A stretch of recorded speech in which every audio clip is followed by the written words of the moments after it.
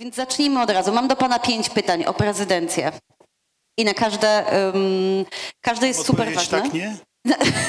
Może pan trochę dłużej niż odpowiedź tak nie. Natomiast e, zacznę, zacznę od tego, że ta prezydencja się prze, mm, przewija w bardzo różnych panelach, w bardzo różnych dyskusjach.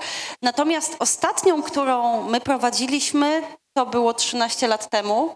I na przykład ja wtedy zaczynałam pisać o remontach dróg w życiu Warszawy. E, To było strasznie dawno temu.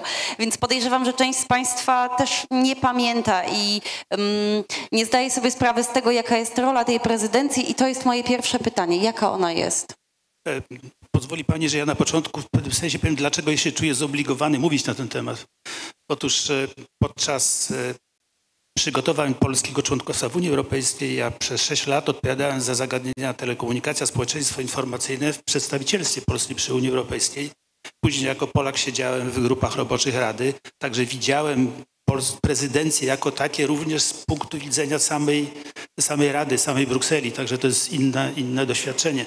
Później jak była pierwsza polska prezydencja w 2011 roku, wówczas pracowałem w Ministerstwie Spraw Wewnętrznych i Spraw Wewnętrznych, gdzie był ułożony wtedy dział informatyzacja i e, również odpowiadałem w pewnym sensie za pewne tematy prezydencji 2011 roku, a byłem jednym z głównych organizatorów konferencji ministerialnej dotyczącej elektronicznej administracji w Poznaniu, która to konferencja, było wielkie wydarzenie, może jak będzie czas, chętnie do tego wrócę, bo doświadczeń ma kupę. Ale mówiła Pani właśnie o polskiej prezydencji i ja jeśli miałbym nak- naszkicowywać mniej więcej i mówić, czym tak generalnie jest prezydencja, to jeszcze chciałbym wyjaśnić trzy pojęcia, które się bardzo często zlewają u nas potocznie, bo brzmienie jest bardzo, bardzo, bardzo takie, bardzo bli- zbliżone do siebie. Bo to jest Rada Europy, Rada Europejska, Rada Unii Europejskiej. To są trzy kompletnie inne pojęcia. Oczywiście Rada Europy to jest e, organizacja międzynarodowa, e, europejska, ze siedzibą w Strasburgu, gdzie z członkami tego są wszystkie kraje europejskie, z Rosją, Białorusią, Ukrainą. To nie ma nic wspólnego w ogóle z prezydencją, ale w ogóle z Unią Europejską. E, Z kolei Rada Europejska jest to spotkanie szefów rządów, które się odbywają cyklicznie, mają często nazwę szczytów i w, tej Radzie również prezydencja jako taka nie funkcjonuje. Natomiast reguły prezydencji funkcjonują w Radzie Unii Europejskiej. I to jest bardzo ważne, żebyśmy sobie powiedzieli, czym taka Rada jest. Generalnie to nie jest jedna Rada, tylko to jest zespół rad. Na dzień dzisiejszy tych rad jest 10. Każda z nich obejmuje jakąś tematykę albo kilka tematyk w sobie, bo, bo wiadomo, że tematyk jest dużo, dużo więcej niż, niż tylko 10, ale rad jest 10 i, i w tych radach obowiązuje system prezydencyjny, co oznacza, że jak przychodzi prezydencja danego kraju, to kraj przejmuje przewództwo we wszystkich radach. Przewo- Przewodniczącymi tych rad są z reguły ministrowie, może u nas będzie wicepremier, który po prostu prowadzić będzie opowiada tą radę. Na rzecz rady każdej pracują grupy robocze rad. I to wydaje mi się, to śmiało, śmiało mogę powiedzieć, że to jest chyba najcięższa praca, jeśli chodzi o prezydencję. Grupy robocze to jest również takie odzwierciedlenie samej Rady. W grupie roboczej zasiadają przedstawiciele wszystkich krajów, a przewodzi tej grupie przedstawiciel kraju, który prowadzi prezydencję. I tam toczą się wszystkie, wszystkie sprawy, które są w ogóle najważniejsze w takich relacjach e, unijnych. E, Tutaj mam na myśli współpraca i z Parlamentem, z Komisją Europejską, ale generalnie między, między krajami. Na taką grupę roboczą trafiają wszystkie najważniejsze i właściwie wszystkie sprawy legislacyjne i tam są przetrawiane Potem jest poszukiwany konsensus, który później wędruje przez te takie ścieżki typu Koreper i Rada i tam są przyjmowane. Także to tak mniej więcej wygląda prezydencja. Stąd przygotowanie je- jest niezwykle, niezwykle istotne. E, Jeśli e, mówimy o doświadczeniach z poprzedniej prezydencji i jak one przekładają się na prezydencję 25, to, to, to tych doświadczeń rzeczywiście jest bardzo dużo. Otóż no, my jesteśmy już Polska jest członkiem Europejskiej od, Unii Europejskiej od 20 lat. Od poprzedniej prezydencji, czyli w 2011 roku, minęło już 13,5 roku. To jest bardzo dużo, więc nabraliśmy bardzo, bardzo dużo doświadczeń organizacyjnych, instytucjonalnych. Już nie jest to, co jak było w 2011 roku, gdzie w polskim przedstawicielstwie praktycznie była jedna osoba odpowiedzialna za prezydencję, później tylko w jakiś sposób dojechały osoby do pomocy. Czyli to To nie było, muszę szczerze powiedzieć, to nie było najlepiej przygotowane, ale tym niemniej udało się, żeśmy tą prezydencję skutecznie przeprowadzili. Nie mówię o konferencji wspólnej ministerialnej, to jest inna zupełnie bajka. Natomiast na dzień dzisiejszy jesteśmy zupełnie w innym miejscu. Mamy zupełnie inne doświadczenie. Mamy już w samym przedstawicielstwie mocną grupę, która obserwuje prezydencję innych krajów od wielu, wielu lat już nawet, czyli wie, jak się zachować. Mi, tak, bo mi prezydencja to kojarzy się z takim, e, z, z takim działaniem, jak było na przykład ostatnio przy AI Akcie, kiedy prezydencja po prostu dociskała butem, żeby tylko osiągnąć kompromis. Czy to będzie nasze zadanie? I jeśli tak, to w jakich obszarach, w jakich regulacjach? Wie Pani, no, to oczywiście zadanie każdej prezydencji, jej ambicją to jest y, przeprowadzenie w sposób właściwy wszystkich procedur, które przechodzą przez Radę. E, z reguły to jest tak, że w ramach jakiegoś półrocza obowiązującego to dochodzi stosunkowo niewiele jakichś nowych tematów, nowych aktów prawnych. Bardzo często one są kontynuowane po poprzednich prezydencjach. Czyli my już będziemy wiedzieli teraz? My będziemy w tej chwili tak. Teraz jest prezydencja belgijska, po belgijskiej będzie węgierska, Dopiero później będzie prezydencja polska i to w tej chwili w prezydencjach działają tak zwane trio prezydencyjne. Czyli my będziemy w takim trio prezydencyjnym, to będzie Polska, Dania, Cypr. I będziemy wspólnie w pewnym sensie programować tę prezydencję, ale realizować będziemy, oczywiście każdy będzie miał ten, ten swój okres czasowy, gdzie będzie, gdzie będzie, gdzie będzie, będzie, gdzie będzie odpowiedzialny za, za, za przejmowanie. Oczywiście niezwykle ważne, mówi, mówi się, że są sukcesy prezydencji, jeśli jakiś temat się domknie. Czyli przyjmie się albo jakąś dyrektywę, albo jakieś rozporządzenie i to będzie, to będzie, będzie sukces. Teraz Belgowie się chwalą, że będą mieli wielki sukces, jeśli chodzi o sztuczną inteligencję, bo to tam domkną najprawdopodobniej tę tematykę.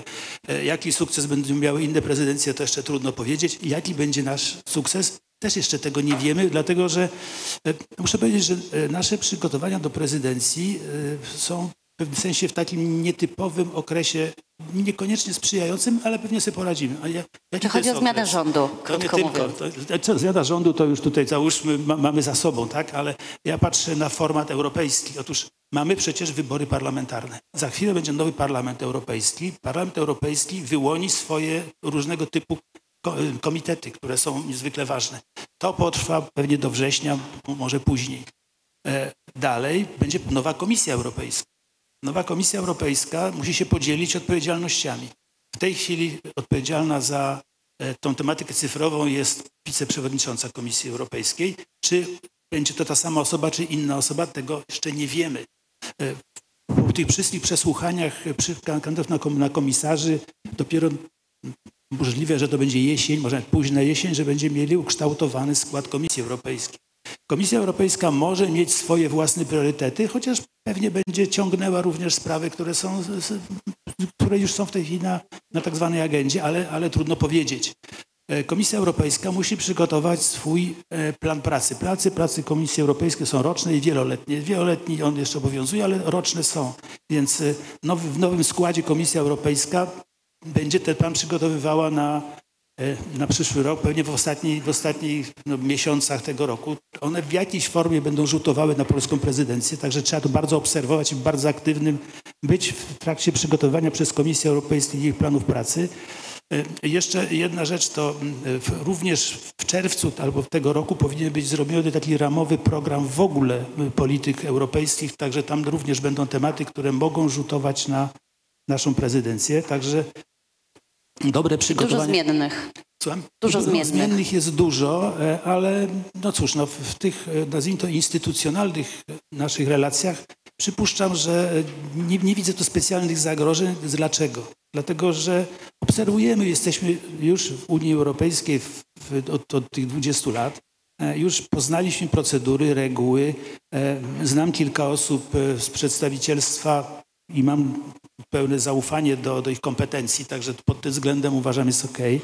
E, wiem, że w tej chwili w ministerstwie, ja mówię tylko o, tym, o, tej, o, tym, o, tym, o tej części związanej z technologiami cyfrowymi. E, w tej chwili w Ministerstwie Cyfryzacji, e, znaczy chyba już się kończy budowa mocnego zespołu, który będzie odpowiadał za prezydencję i ten zespół w Warszawie i zespół w Brukseli to będzie ten sam zespół. To, to, to musi być taka, taka współpraca pełna Warszawa będzie wspomagała Brukselę, Bruksela będzie, Bruksela w cudzysłowie, polska prezydencja Brukseli będzie e, dobrze współpracowała z tym. Także to, że dobrze organizacyjnie tą prezydencję skonsumujemy, jestem prawie przekonany, oczywiście życie pokazuje w ogóle jak, jak to będzie wyglądało. No, ta sprawność będzie zależała od, od nas, ale od współpracy, takiej dobrej współpracy, dyplomatycznej współpracy z organizacjami typu właśnie Rada Europejska, w sensie urzędników Rady, Komisja Europejska, Parlament Europejski. To jest niezwykle ważna, harmonijna, dobra współpraca, stąd doświadczenie osób jest naprawdę niezwykle, niezwykle potrzebne i ważne. A co my mamy do wygrania na tej prezydencji? No, do wygrania, jak mówi się często prezydencja, to mamy coś do wygrania. Oczywiście do wygrania jest dużo rzeczy. E, pierwsza to jest pokazanie się, że jesteśmy krajem sprawnym organizacyjnie, że potrafimy sobie poradzić e, w sposób sprawny, przejmując tematykę, prowadząc, później przekazując dalej.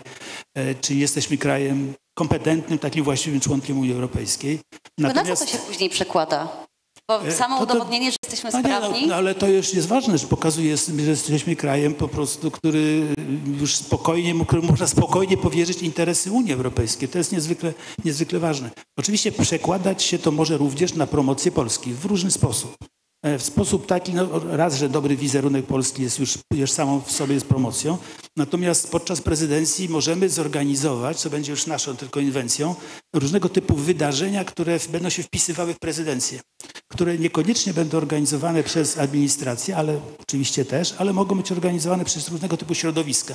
Więc tak sobie pomyślałem, że dlaczego na przykład Forum Gospodarcze TAIM w przyszłym roku nie miałoby mieć przecież na pokładzie zagadnień prezydencyjnych, mogłoby się nie wpisać do kalendarza prezydencji. Czemu nie tutaj apeluję do, do organizatorów, ale, ale nie tylko to. Cały szereg innych e, wydarzeń, które będą w Polsce organizowane. Wydaje mi się, że dobrze, jakby się wpisały taki wspólny, łączny kalendarz imprez towarzyszących polskiej prezydencji.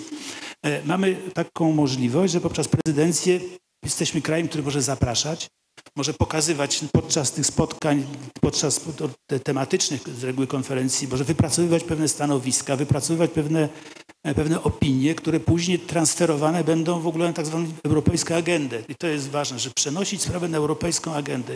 I to na takim poziomie powinniśmy, powinniśmy realizować. To jest e, jednym również z, taką, z, takim, z takich możliwości promocji prezydencji. A poza tym jest rozliczna ilość innych, jak choćby taka niby, że e, każda polska placówka w, w Europie w tym czasie prezydencji ma możliwość, ma otwartą taką kurtynę, żeby organizować spotkania takie około prezydencyjne, pokazując również potencjał Polski i w różnych sprawach artykułować to, co chcemy wtedy wyartykułować, budować takie horyzontalne porozumienia. To jest niezwykle ważne. Czy widzi Pan tematy, które my powinniśmy wynieść na tą europejską agendę? Co, co, co, powinno być tam dla nas najważniejsze? Ja sądzę, że my się wpisujemy w to, co w tej chwili jest na stole europejskim. Umówmy się, że e, niezwykle ważne stały się w tej chwili i będą, i ta, ta waga będzie rosła w kwestiach cyberbezpieczeństwa. To jest niezwykle ważne. I implementacje dalej tych e, NIS-2, dalej, dalej implementacje takie przeglądy działania NIS-y, to są, to są tematy, które zapewne nas interesują bo one są ważne, ale to interesują całą Unię Europejską, ale w tym czasie my możemy po prostu pchnąć trochę do przodu tą tematykę. To jest ważne. Oczywiście sztuczna inteligencja, jak to wszyscy wiedzą, to już ona wszędzie się wciska, co byśmy nie powiedzieli. E, implement, będziemy, nie, nie wiem, jaka, czy będzie jakaś konkretna inicjatywa typu dyrektywa, rozporządzenie, bo to oczywiście mm, można, można sprawdzić tutaj podczas naszej konferencji jest, będzie, jest już z nami znakomita osoba, którą można odpytywać. To jest pani, pani Katarzyna Prusa-Górnia, która w polskim przedstawicielstwie e, odpowiada za właśnie e, tą tematykę i będzie w tym sensie no, taką osobą rozdającą e, tematy w, w Radzie. Ona będzie mocno wzmocniona Także tutaj to jest znakomita adresatka do, do, do, pytań takich bardzo merytorycznych. Ja już od razu powiem, ja odpadłem już od wielu, wielu spraw, ja po prostu tylko czuję e, poprzez moje doświadczenia, że prezydencja jest ważna, że trzeba na nią zwracać uwagę i środowiska powinny zwracać uwagę. E, I tutaj apeluję do właśnie środowisk biznesowych, żeby wykazywać się aktywnością. Rozmawiałem niedawno z moją koleżanką z Komisji Europejskiej, która mi powiedziała, bo pytałem, jak Polska jest aktywna na takich forach nie, nie, nierządowych. Powiedziała, że słabo niestety, że czasami w Brukseli pojawia się delegacja albo Lewiatana, albo Kigate'u, ale to są takie jednostkowe wyjazdy. Tak się nie buduje pozycji Polski. Pozycję Polski, polskiego biznesu buduje się poprzez ciągłą, stałą pracę, wchodzenie w relacje takie po prostu szersze, budowanie wspólnych stanowisk, nawiązywanie e, współpracy, e, więzi z innymi organizacjami i transferowania również naszych pomysłów na ten grunt. To jest bardzo ważne, czyli Unia Europejska to, my często mówimy Unia Europejska to oni. Nie, to, to my, to my tu jesteśmy Unią Europejską praktycznie. Chciałam pana zapytać na koniec o jedną poradę, ale chyba pan sam, sam o niej wspomniał, że najważniejsze to jest w tej chwili to budowanie relacji, tak, do czego wszystkich państwa i też tą stronę naszą rządową bardzo serdecznie zachęcamy. Dziękuję. Dziękuję bardzo.